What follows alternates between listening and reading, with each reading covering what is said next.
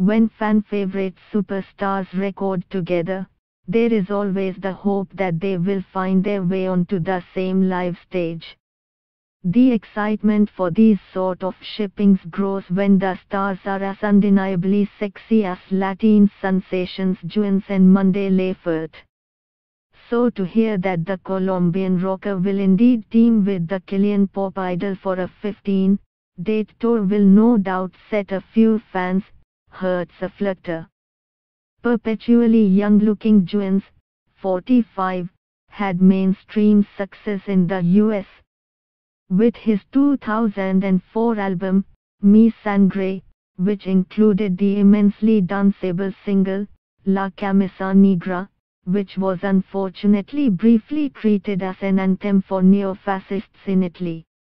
In a career dating back to his teens, Juanes has accumulated 20 Latin Grammys and 2 Grammys.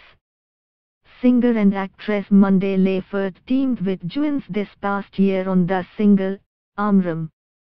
She also became a vegan this year after converting to vegetarianism in 2013, but I hardly see how any of that is relevant. The track is an overt and seductive ode to the pleasures of bondage, so it's hard to not want to see the two of these acts in their prime perform in the flesh. Juanes and Mon Laferte will kick off their North American tour at Orlando Amway Center on April the 20th.